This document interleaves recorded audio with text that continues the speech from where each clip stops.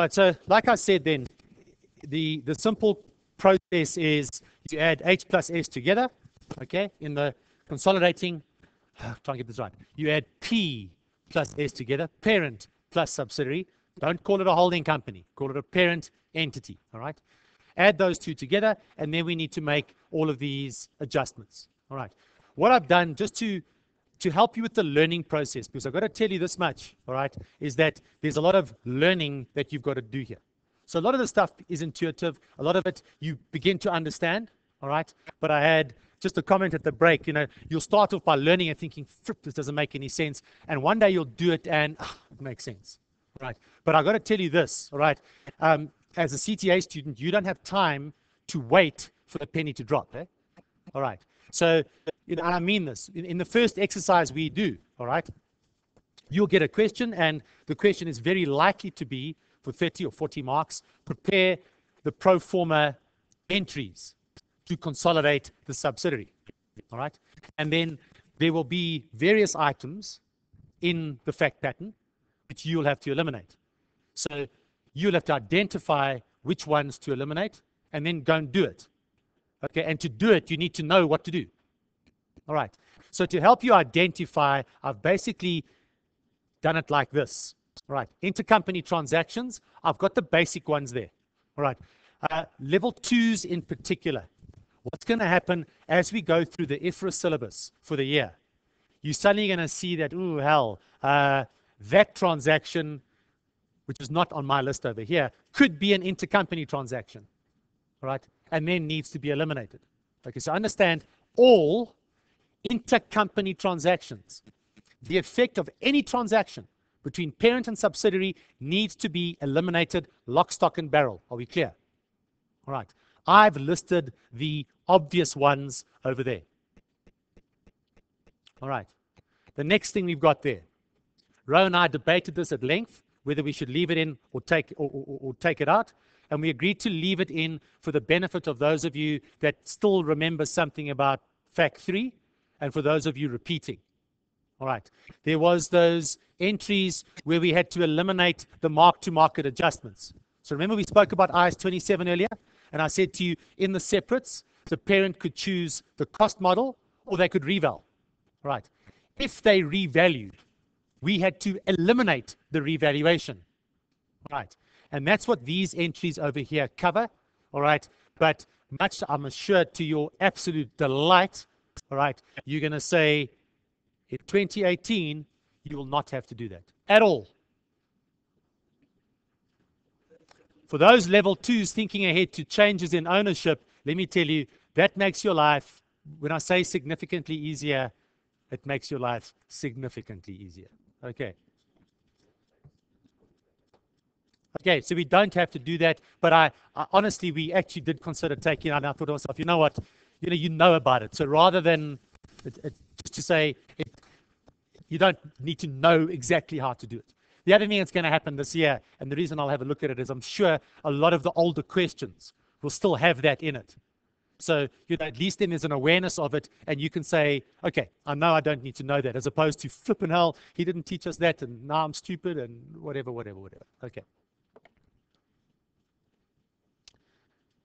Then we have um, the, call it the at acquisition entry. Uh, that's what I spoke about earlier. Remember I said to you, we need to eliminate that investment, that one line investment. That's there. Okay. And what you guys need to know is that is all done in terms of IFRS 3. So it's actually like a specific standard that tells you exactly how to do that at acquisition elimination. And then, then we've got a process to run through for the period since acquisition to beginning of year and for the current year. Right, for those of you wondering, you know, why is it that we always break it up like that? Um, all of you've done it before. But a lot of you've done, you know, you do the analysis of equity and you don't really sort of understand anything. You just, it's like this table and that goes there and that goes there and then that goes there and that goes there. And then take this figure and copy it there and then take this figure times that percentage and put it there. And why you did all of this, you didn't really know, but you had a nice paint by numbers thing and you could prepare a set of financial statements. That's no problem. if you require to do a set of financial statements, stick with that method.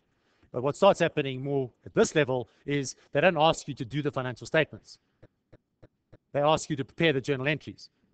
Or they ask you to discuss a specific aspect with journal entries. All right. Then all of a sudden, it's not, you know, you can't go, no, no, uh, I'm not going to tell you any, I'm going to tell you what I, you know, I would have taken that number, put it on that line in that column and multiplied it by 43%.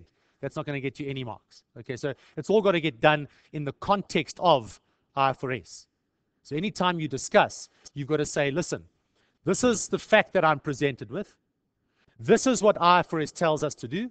And therefore, I'm going to do this calculation, debit this, credit that. That's how you get marks in a discussion. Okay. You don't go, you know, in my opinion. Opinion doesn't really count. Okay. Uh, so you state the facts, you quote the IFRS, and then you give your conclusion based on that. Okay, so you'll understand we've got to drill down a bit deeper than you know kind of what you've learned in the past. So the only reason why you did this since acquisition to beginning of year, and it's quite important that I, I get this straight with you guys once and for all, is that you will appreciate that we're going to prepare financial statements at the reporting date, aren't we? Right? And when you prepare financial statements at a reporting date, if you think about it, there's two reporting dates because you have to do comparative figures, not so. Right, so in other words, we're going to have the current year, and can we call this the previous year? The current year and the previous year. And the reason I we have those years is you all know from accounts one, you know that profit or loss is for the period or for the year end. Statement of changes in equity is for the year ended. So you've got to isolate those periods, not so. In other words, I've already told you that we need NCI's share of profit or loss, don't we? For what period? For that year, not so. We need a separate calculation, NCI, profit or loss, for that year. The problem you guys run into is we only acquired the subsidiary, we acquired the subsidiary like way back there, didn't we? So we've got this period since acquisition up until the current period. Right. The biggest joy for all of you, I've never ever seen it happen, although in practice you need to understand that it's, it's real, is we never have to give comparative figures in groups. Never. They never ask for them, which is great. Okay. So in other words, we've got to, if you think about what it is that we've got to do, we've got to deal with the current year as an isolated period and then everything before that, we've got to deal with separately. Okay, that's why when you look at your adjustments, okay, you've got to consider the adjustments that you make at the acquisition date. Then you've got to consider separately the adjustments you need to make for the period since acquisition to beginning of year. And then you need to consider separately the adjustments you need to make for the current year.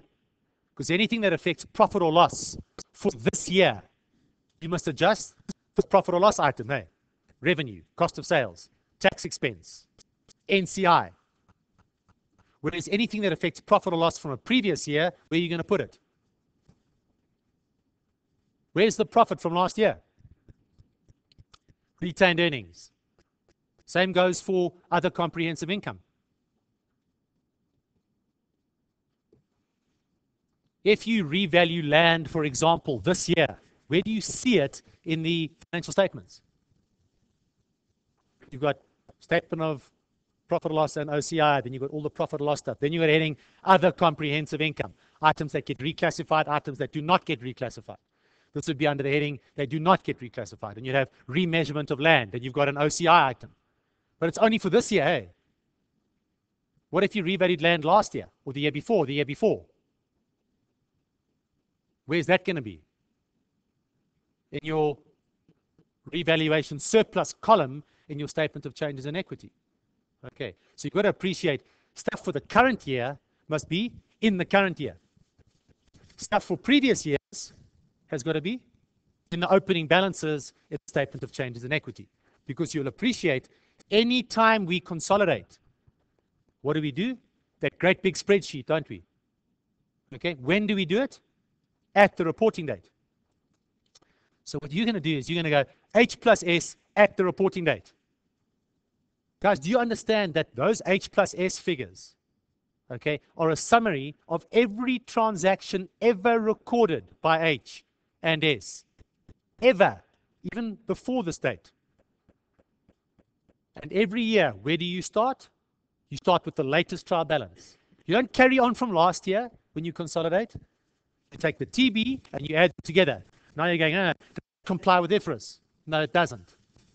Okay, well, group one adjustments do we need to make? We need to make all the adjustments starting from acquisition to the beginning of year, current year. Every year you go through the same process. You don't take last year's figures and build on those because last year's trial balance, it's a completely different set of financial statements to this year's, not so. Every year you start from scratch. So every year you have at acquisition, beginning of year, and current year. Are you with me?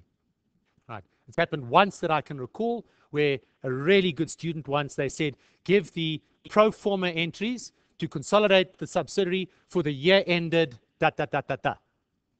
So that's the way they'll ask you the question for the year ended. And guess what she did? She did those entries just for the current year. Right. If they ask you for the entries for the year ended, what do we do every year? H plus S. So what do we need every year? You need every entry, ever, starting at acquisition. In practice, eh, you're then going to have to isolate to beginning of the previous year. Then you're going to have to do the previous year, and then you're going to have to do the current year. You can thank the Pope for small mercies. You won't be asked for the previous year. So your job will be going Start at acquisition, all the entries for the period to beginning of year, all the entries for the current year. Okay, then your spreadsheet as such will be complete. Okay. Any questions on any of that? Right, so let's run through what I've got in that material. Uh, it'll be pretty quick, and then there'll be an example for you guys to sit and do on your own kind of thing. Okay. So the introduction there, I've kind of spoken about. I'd like you to read that though, but really what I'm saying there is that the consolidation process is H plus S, all of H plus all of S, every year, start from scratch. And then what we have to do is process this series of eliminations. All right. I've said they are pro forma adjustments, meaning they don't adjust the parent, they don't adjust the sub. The parent and the sub stay intact, don't they? And then what we do is we make these adjustments as the group accountant. Okay, you have a separate journal where you to, to, to um, keep a track of these entries. All right, and then what you'll actually end up doing, I can tell you manually what you'll end up doing. You'll put the adjustment, each adjustment in a separate column in a big Excel spreadsheet. That's what you will end up doing. You mark my words. If you ever do consolidated financial statements, that's what you'll do. Okay. So that's what just that page tells you. All right. Intercompanies. I'm going to run through fast. Okay, so if there are any questions, put your hand up if you don't understand something. All right. But let me just say this. All right. You should know these. Where I'd like you to be now, you're saying, listen, I did this in undergrad and I know all of this stuff. Right? I appreciate some of you erased the hard drive or reformatted the hard drive after third year, and you come in here and you're a, you're a, you're a blank canvas, okay? That being the case, please understand that there is no substitute for learning this stuff. All right. So when I say to you, okay, tell me all the intercompanies you know. Right? I might be kind enough to say, how do you eliminate an intercompany loan? Right? I need you to know better than that. I need, if I said to you, yeah, jot down all the intercompanies you know. You're going to say, right, these are all the intercompanies I know. And this is the journal entry to eliminate the effect of that intercompany. Are we clear? I can show you what it is you need to learn. Okay, I can't learn it for you. Right, so please understand this stuff you have to, have to learn. So intercompany loans we've spoken about already. We appreciate in the, and it doesn't matter who's who, hey? So there's one thing you will see in my material over here. All right. There's never an, a P or an S written next to the account. All right. So P could have loaned money to S, or S could have loaned money to P. That doesn't matter to me. I don't care which way the transaction goes. Are we clear? The bottom line is, if there was a transaction between P or S, the effect of that transaction is going to be in your total, not so. And if it's an intercompany transaction, what do we need to do? Eliminate. I don't care if it's P, I don't care if it's S. Right. So it doesn't matter who loaned money to who. If there was an intercompany loan, one entity has a payable, the other company has a receivable, not so. Eliminate that. How do you get rid of a payable? With a debit. How do you get rid of a receivable? Okay, so that poor bugger that taught you debits and credits and accounts 101. All right? I hope you paid attention. Just take note those payables and receivables do not just apply to loans payable, loans receivable. Right? There could be dividends payable, receivable. That's commonplace, eh? So a dividend has been declared, not paid. You understand? The one company's got a dividend receivable, the other company's got a dividend payable. Okay? They don't knock each other out. The one is under current assets, the other's under current liabilities. The journal entry to get rid of them is debit the payable, credit the receivable. Okay. Debtors, creditors, current accounts, financial assets and financial liabilities at amortized cost. I punted that for this year's ITC. It didn't come up. Okay. Listen to me, CTA students. Okay. In undergrad, where you had the loan payable was 100 grand and the loan receivable was 100 grand, you know, and, they, and it was interest free and some nonsense like that. Right. That nonsense doesn't exist in postgrad. Okay. So please, at one point, we're going to learn to account for financial assets at amortized cost, financial liabilities at amortized cost. You need to know what to do with transaction costs, first day gains and losses. You need to to work out the effective interest rate, which ironically is not the same for the asset and the liability. But you appreciate that eliminating an intercompany transaction means you've got to undo the transaction, eh? And how do you do that? You've got to know what happened in the transaction.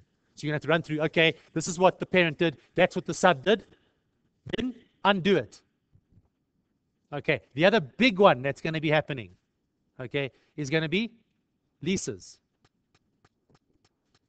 There's a brand new standard on leases. Okay, people, it is commonplace in a group that sometimes the parent is the lessor and the sub is the lessee. That's a transaction between parent and sub. What do you need to do with it? Eliminate it. So the rule of thumb is eliminate all intercompany transactions. And I can tell you this much, okay? Where you guys sit now, you name the transaction. You guys have got, what is it? Five odd thousand pages of IFRS teaching you how to deal with an untold number of transactions. Okay, you name the transaction it could be an intercompany transaction. I'll put one in here as well, which we'll have to have a look at sometime, is IP PPE.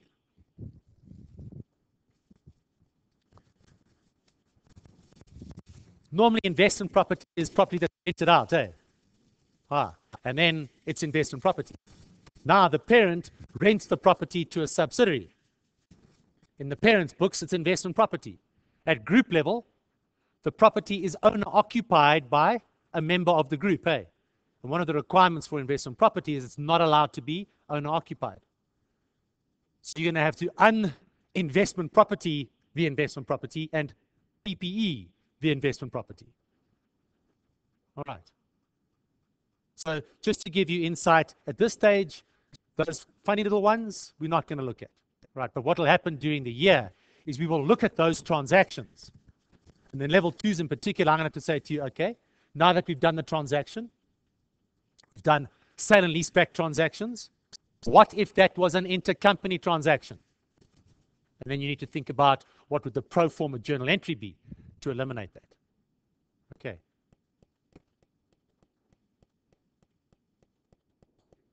Okay, so I've just been asked about one of those questions. I mean, typically this one over here. And I intimated earlier that the asset and the liability wouldn't be the same. I think premature for me to go into that now, if you don't mind. Okay, but let me just say this.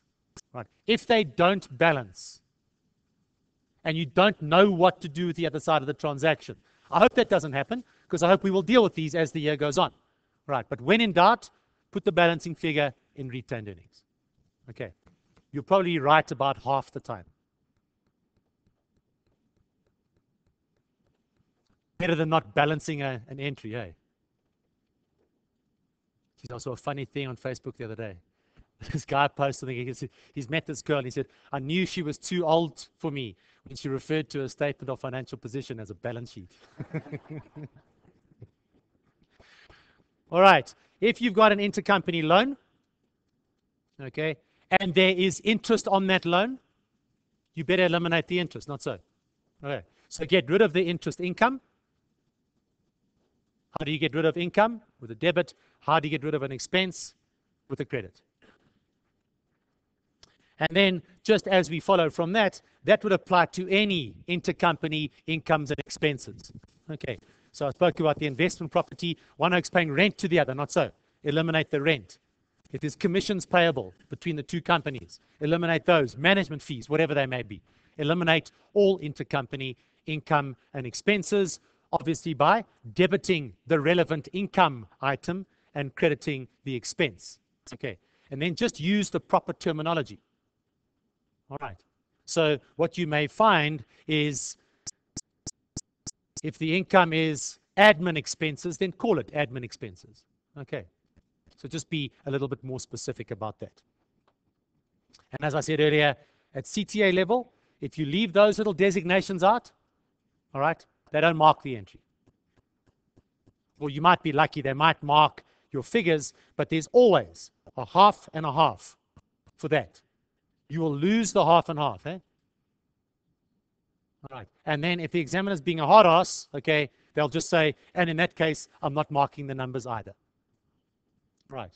Whether you think it's fair or not doesn't really matter. Right. So just never leave out your OCIs, SFPs, SCEs, and PLs. Just they are always in there. Right, then we look at the good old if it's intercompany sales that we're talking about, uh, debit the income, credit the expense. One company's sale is the other company's purchase, not so. Where's the sale? In revenue. Where's the purchase? It's going to be in cost of sales.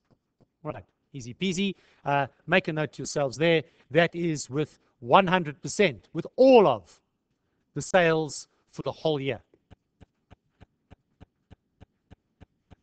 Then we deal with the scenario where some of the sales from one company to the other company is still left on hand in the inventory of the purchaser.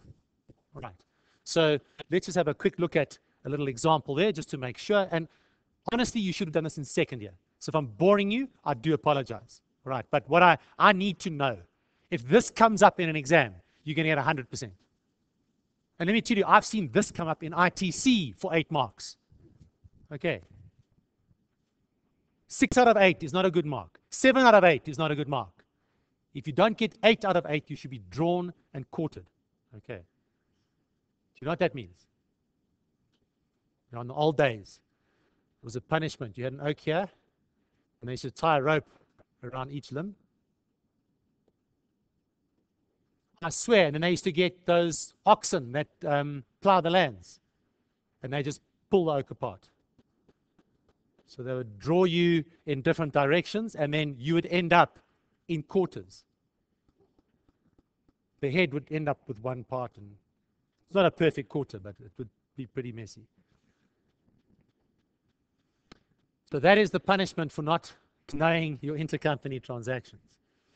Okay, so let's just assume there is between P and S, we have a, an intercompany sale let's for argument's sake say it is from P to S. Let me just reiterate, I don't care from who to who. P to S, S to P, same thing. Makes no difference. The question is, is it intercompany? Answer is yes. So let's say the sale is for 100,000. If you pick that up in a question, what is your pro forma? You're going to debit revenue, credit cost of sales, PLPL, PL, 100,000 and 100,000. Okay. Probably worth two marks that entry. That's the point. If you don't get those two marks, what then? Then this company sells some of that inventory to third parties, not so. Okay? And then by virtue of the fact they've sold it to a third party, can you see the resulting effect that we've achieved here? So we've then got the intercompany transaction has been eliminated. You got it? But the sale that has gone from S to outside the group, that's going to be in S's sales. Okay? And it's going to be in our consolidated financial statements, which is correct. But let's say they only sold 70% of that inventory. That means 30% of that inventory is still on hand, doesn't it? Okay, and it's in their records at how much? 30,000. Because you'll appreciate they bought it. So in their, in their separate financial statements, they don't account for the relationship with P. S is its own company, isn't it? So how do we record the inventory? At cost. What was the cost? 100,000. All right. So now we've got 30,000 left on hand. And when you add H plus S together, where are you going to see that? In inventory, not so, at 30,000. You will also appreciate, though, that when S, sorry, when P made the sale, they made sale to another company, not so. They probably didn't sell it at cost. Let's assume their cost of sales, the cost of the stock that they sold to S was for example, 75,000. Can you see they made a profit of 25,000? Eh? Can you see that their GP percentage is 25%? Can you see that their markup is 33 and the third percent? Or let's put it another way, can you see that the inventory did not cost the group 100,000? When this inventory came from outside the group to inside the group, what did it cost the group?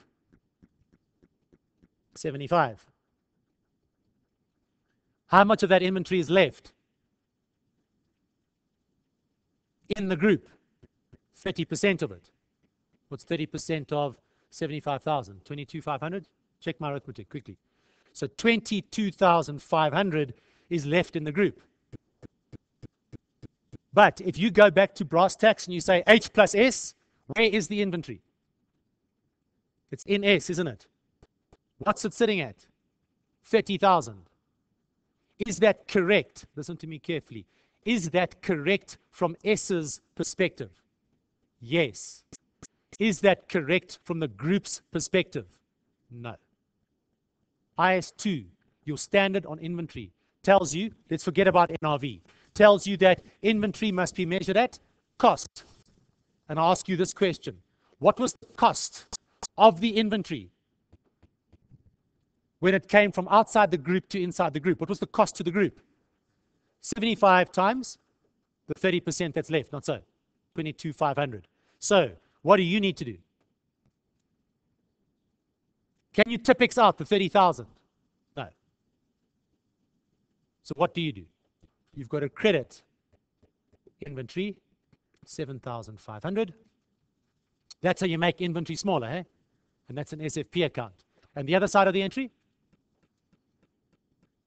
You've just changed the value of your closing stock, haven't you? All right.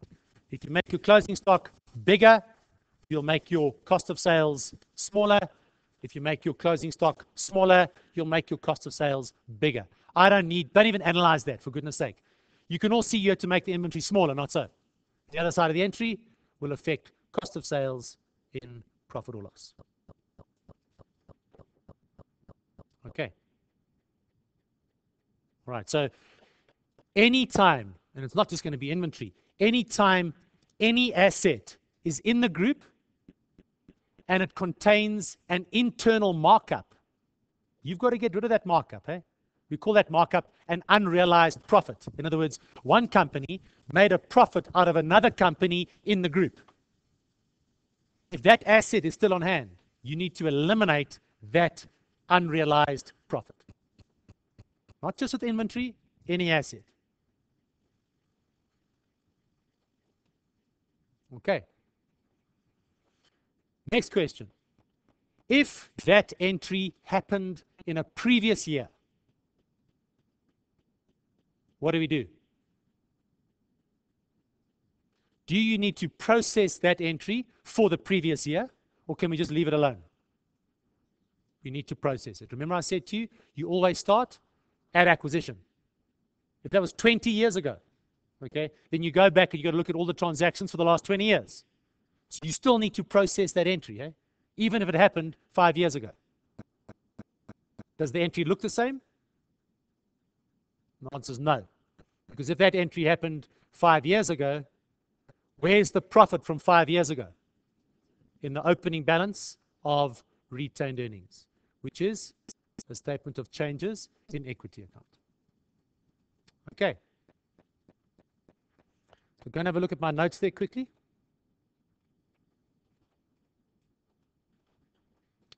Remembering the penalty, if you don't know them.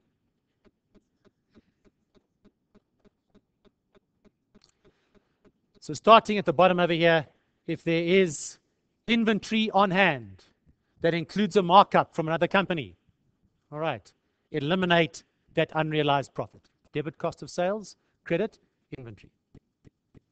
If that entry or if that transaction happened in a previous year, eliminate it in a previous year. there could be one that happened in a previous year, one that happened this year. Then you'd have both. Do you understand? different amounts, but you'd have both entries. And then a little bit that ah, confuses, not confuses, but just irritates a few people is that the entry from the previous year needs to be reversed this year. The argument being that any unrealized profit or any inventory on hand last year would have been sold to a third party this year. Not so. So you do reverse last year's entry this year. And then a whole lot of students turn around and they say, yeah, but then you could have just left that entry out completely. That's not true. Look at them carefully. The unrealized profit last year affects last year's profit, affects retained earnings. When you reverse that entry this year, last year's closing stock is this year's opening stock. This year's opening stock affects this year's cost of sales, which is in profit or loss this year. So you might have done it in previous years. I have no issue if you want to do it as a net entry. If you just have a look there, the net effect of that entry is debit retained earnings, credit cost of sales.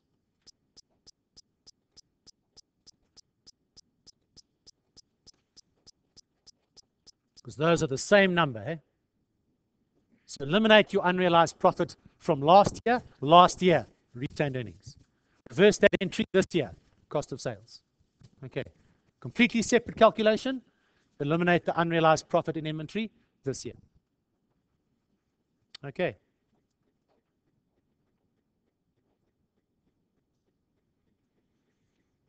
Now, you will also see that the entries that we processed in the current year, or the entries that we processed here, you will see the effects SFP, financial position, and the other side of the entry affects profit or loss.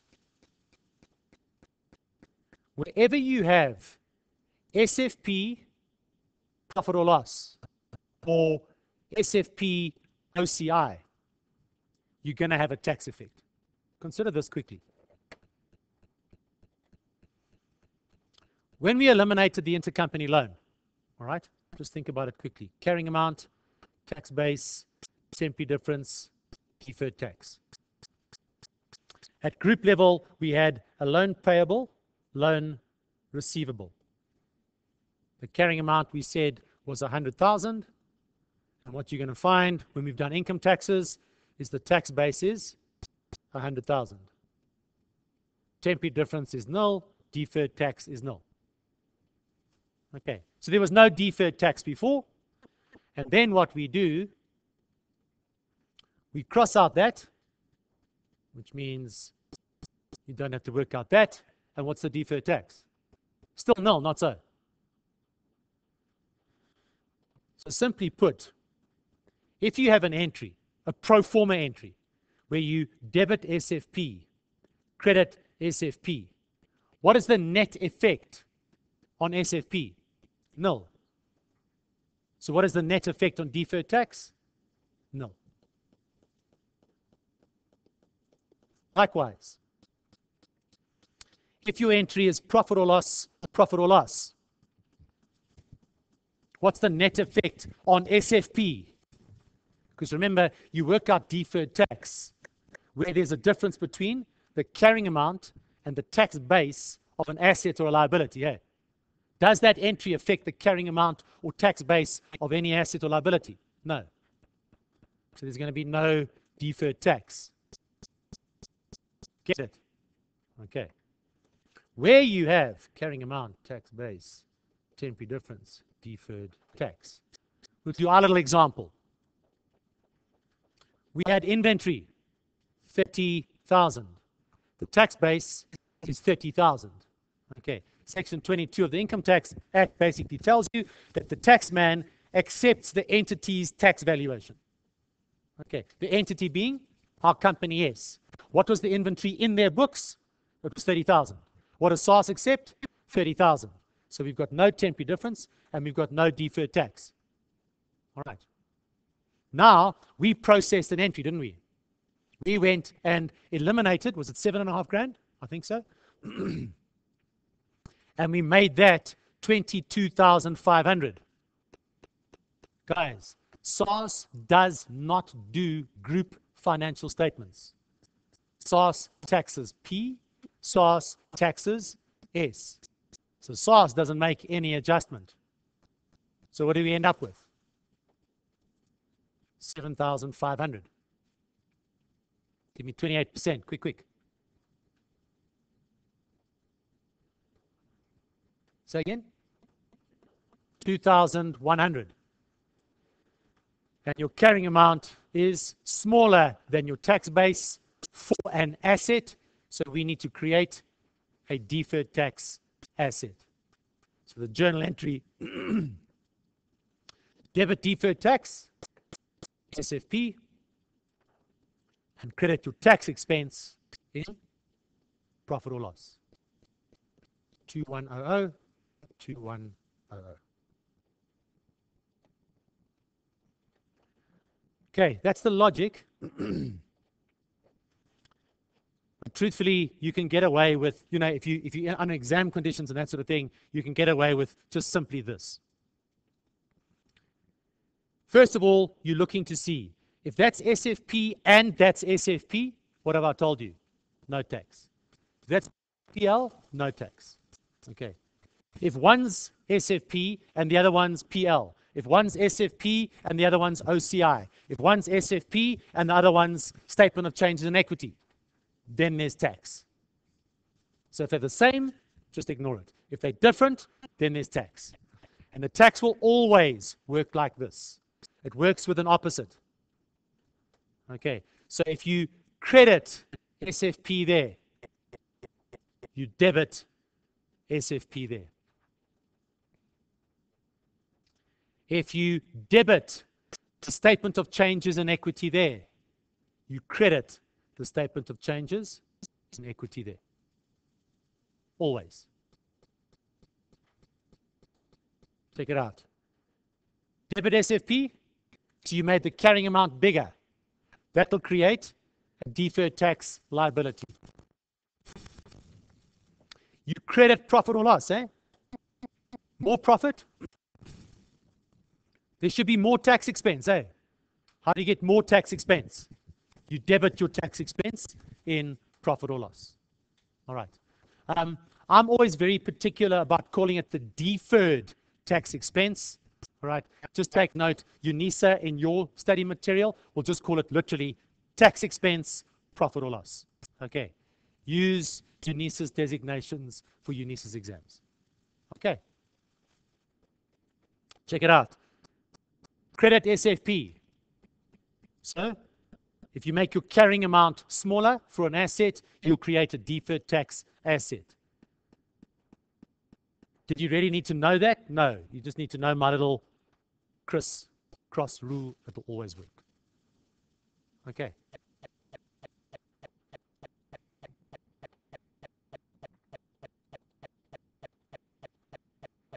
I said already we eliminate intercompanies for all. We eliminate, sorry, unrealized profit regardless of the asset. It doesn't matter if the asset is inventory or the asset is something else. In this case, I'm dealing with property, plant, and equipment. All right. So the first bit of it is you can use the same figures even, okay, if you like. Or maybe it would be smart to use slightly different figures. So in this case, what we're assuming, old dog, Nutrix, the parent, and let's say they had PP&E in their records of 75,000, okay? They sold the PP&E for 100,000, happy? Therefore, they made a profit on disposal of 25.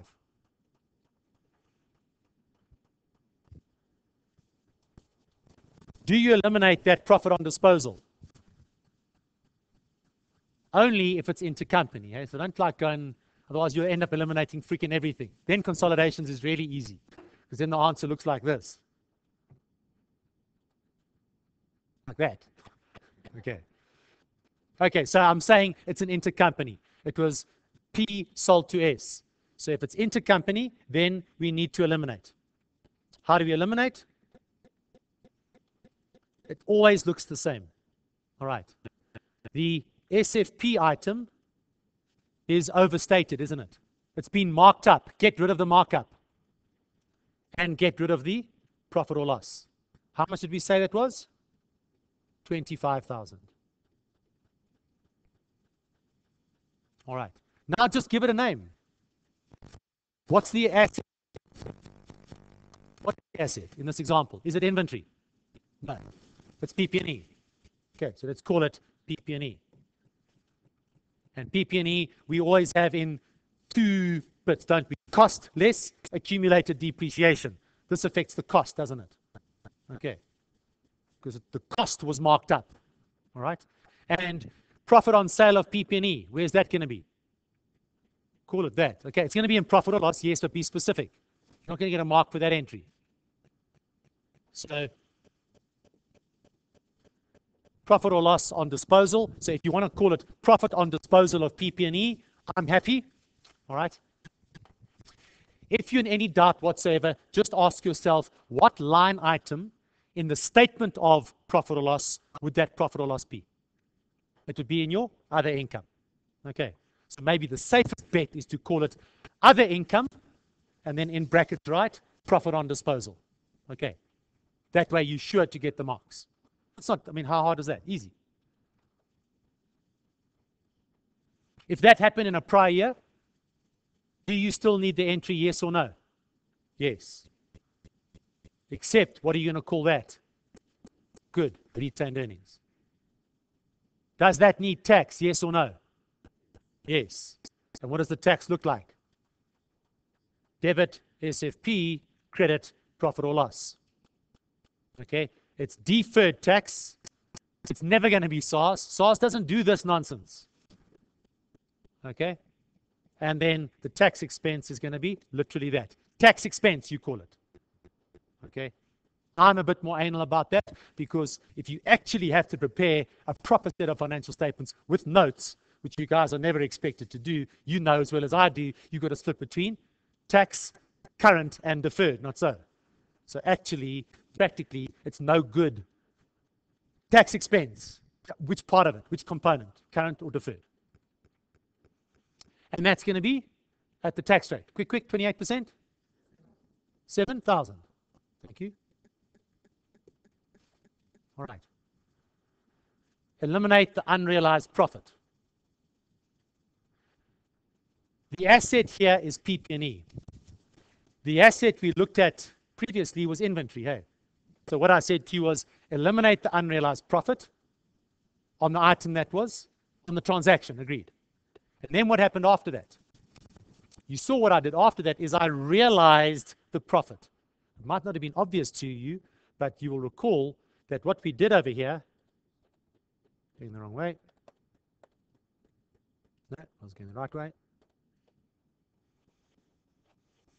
We said if the sale happened in a previous year, eliminate the profit in a previous year. Hey, then the assumption I made was that inventory has now been sold. Hey, how do you use inventory? You sell it. Okay, and when you use the inventory, when you sell it, you realize the profit. Look carefully. Can you see that entry there made your profit smaller in a previous year? Then when you sell it, you simply realizing, you making, you earning that unrealized profit. Makes your profit bigger, not so. So tell me, how do you use PP&E? Well, you use it, don't you, over time. And as you use it over time, what do we do with it? We depreciate it. And if you look at this over here, you're going to see, let's just, let's just use five years, nice and simple. What is the depreciation on that? 20,000. What is the depreciation on that? 15,000. Tell me this, where is this asset physically? It's in here, isn't it? At 100,000. So what are they, they doing in their own books? They depreciated, aren't they? What they're depreciating? The 100,000, aren't they? So their depreciation on that is 20,000. What have we just done in that entry over there? We've just reduced this. We've said, listen, at group level, at group level, we're saying it's not 100, it is 75. How do we achieve that? We went debit the profit, credit the asset, didn't we? Okay, you're going to look very stupid in the group financial statements if you say cost of the asset is 75,000, depreciation rate is five years, and my depreciation is 20,000. Like some opening accounts and standard six can tell you that that's wrong. Sorry, grade eight.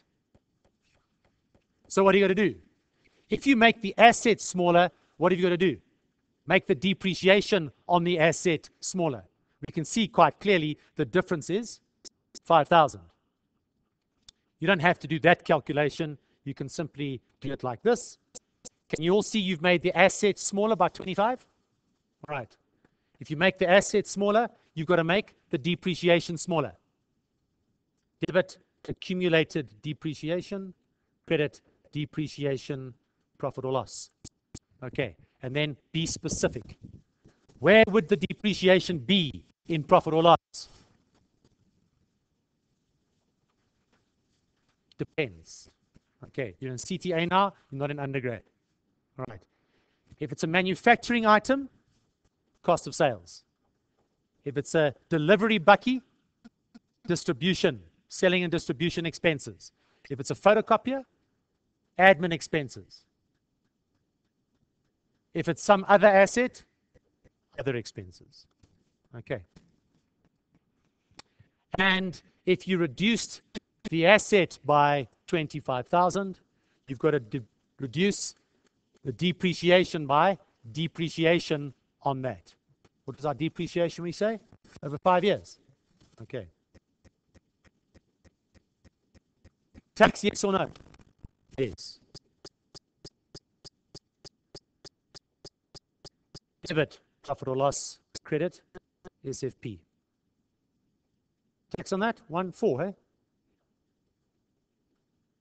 DT, SFP, tax expense, profit or loss. Okay.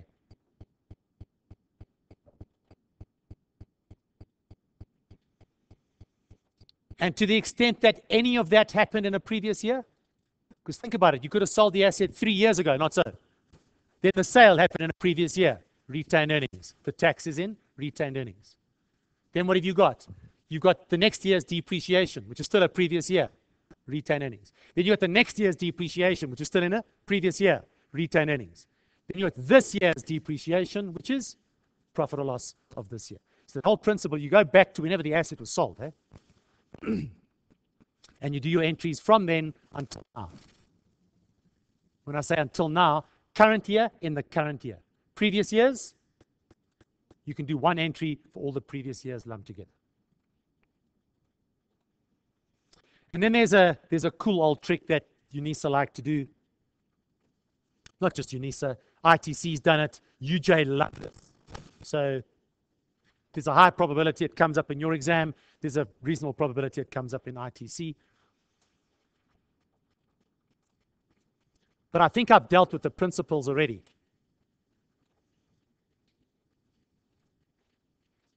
So it's the same little example in the sense that we've got the parent sells an asset to the sub. Bear in mind, it could be the other way around. Okay. And an asset that cost 75,000 was sold for 100,000, realizing a profit of 25. because it's intercompany, it needs to be eliminated. All right. Now, let's say that that asset is a delivery vehicle. Okay, so that's the asset. It's a delivery vehicle. But in the question, they tell you that P is a car dealer. What is the asset as far as P is concerned? Inventory. S is just a normal retail entity that delivers inventory now and again. What is the asset as far as S is concerned? PP&E, hey? All right. So I've said already that where we have unrealized profit in inventory, we need to get rid of the profit and we need to correct the asset. This is where common sense comes in. Maybe the easiest place to start because it has a physical presence. Where is the asset? I said to you that P sold to SA. Eh? So where is the asset? Physically, it's sitting in here. And what are they calling the asset? PP&E.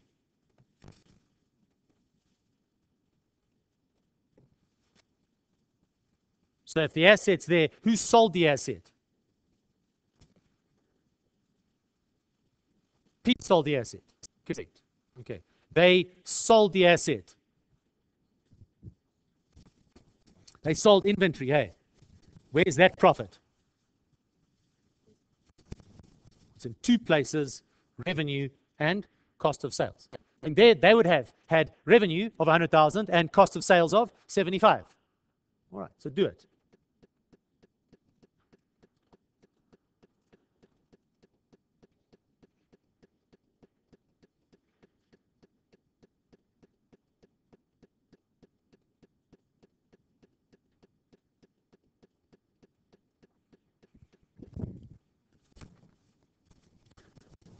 See, so whether they ask you for journal entries or whether they ask you for uh, financial statements, I can tell you now it's going to be a half and a half for the description, and it's going to be a half and a half for the amount. Alternatively, if you're doing a set of financial statements, okay, what you need to do is H plus S, eh? And S is going to include, or the parent, so is going to include, so we've got to go minus 100, for which that give you a mark, and minus 75 which they would give you a mark. So either way, there's two marks on offer. If you go debit other income 25,000, you lose both your marks. Do you understand? Your profit's correct still, isn't it? Your net profit is going to be right.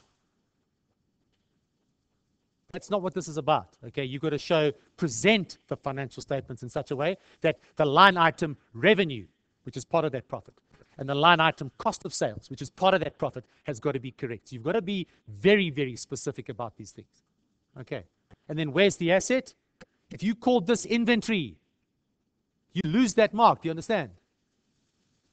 Your SFP still balances whether you put that credit in inventory, deferred tax, investment property, or PP&E. You're still going to balance, not so. All right. The only way you get the mark is if you credit the line item, property, plant, and equipment. Okay, that's in the year of the sale. What happens after this? I've already said to you, you better believe it. If you eliminate unrealized profit in one year, that unrealized profit is going to be realized in subsequent years, one way or another. So you better believe if we eliminated the profit, which was to credit SFP debit profit, in a subsequent year, we're going to have debit SFP and credit profit or loss. It's a fact. How and at what rate and when? Well, what's the asset? PPE. How do we use PPE? Over time. Debit, accumulated depreciation, credit, depreciation. Every year, 5,000, 5,000, 5,000. Do you need tax for the first entry? Yes, you do. I know you can do it. Do you need tax for the second entry? Yes, you do. I know you can do it.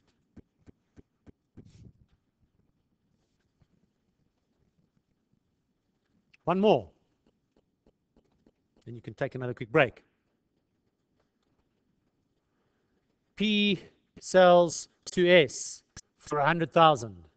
An asset which is in their books at 75. They make a profit of 25. S is a second-hand car dealer.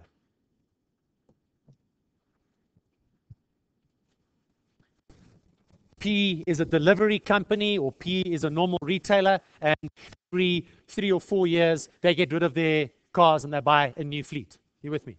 Okay. So the carrying amount of the asset in P's books is 75. Maybe let's make your lives a little bit harder. In their books, this was made up of cost, 200,000, accumulated depreciation, 125.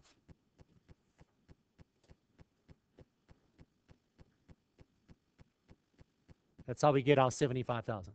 Okay. So company P sells a used delivery vehicle to company S for 100,000. For company P, the asset was PPE, hey? For company S, the asset is inventory. Okay, three minutes. Give me all the entries. Go.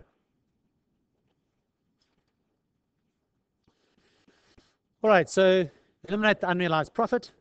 Obviously, we debit the profit or loss. We credit SFP. The line item.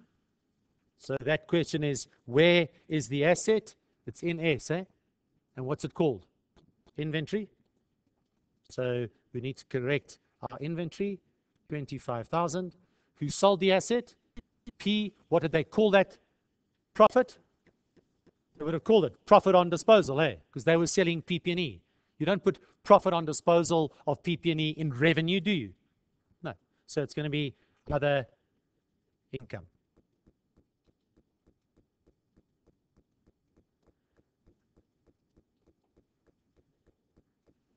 In subsequent periods, what would we do with that inventory?